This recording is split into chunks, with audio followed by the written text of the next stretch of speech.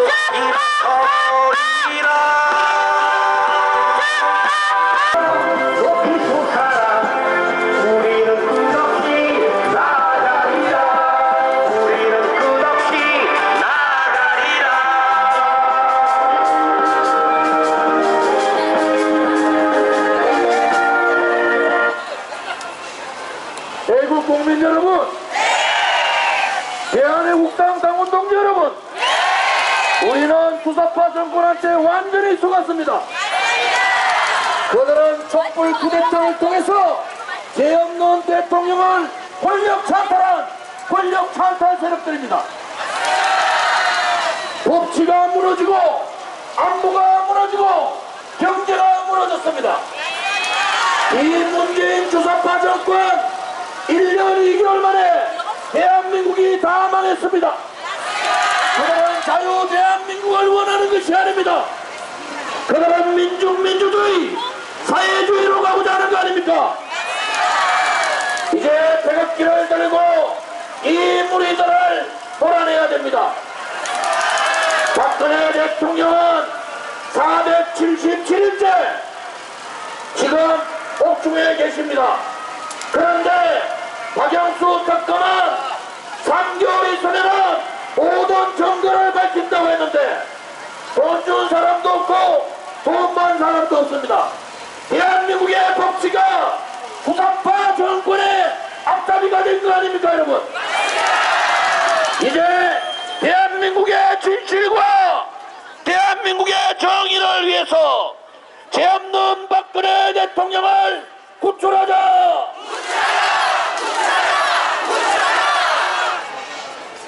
우리는 그럴 게 우리는 속았습니다. 지금은 박정희 대통령 각하와 김일성의 최대 전쟁이 벌어진 겁니다. 언제 대한민국이 대한민국의 총리가 김정은을 칭송하게 했습니까? 언제 북한이 북핵을 폐기한다고 했습니까? 안보쇼로 대한민국을 완전히 속여버리지 않습니까? 저러기 같은 언론 방송들은 이 국민들의 목소리, 국민들의 진실, 국민들의 정의의 소리를 듣지 않습니다. 대박기를 들고 망해가는 대한민국을 구해내자! 죄 없는 박근혜 대통령을 구출해야 합니다. 그것이 대한민국을 구하는 것이고 그것이 자유민주주의를 구하는 것이고 그것이 대한민국의 시장 경제를 구하는 것입니다. 한미동맹을 강하여 김정은을 내긴 채지해야지만이 북핵과 대량 살상 무기를 막을 수가 있습니다. 한미동맹 강하여 김정은을 처단하자! 동지 여러분, 좋은 날씨인데도 서울역 집회와 박근혜 대통령이 불법 강금, 인신 강금돼 계시는 소청대 집회를 하시느라 고생 많았습니다. 여러분이 있기 때문에 대한민국은 그래도 희망이 있습니다. 역사에 있어서 우리의 아들, 딸과 우리의 손자, 손녀의 미래를 위해서 우리는 일어나야 합니다.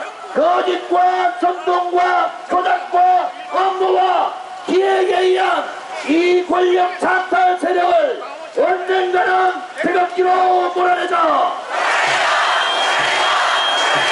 죄 없는 박근혜 대통령을 구출하자. 고생들 하셨습니다. 감사합니다.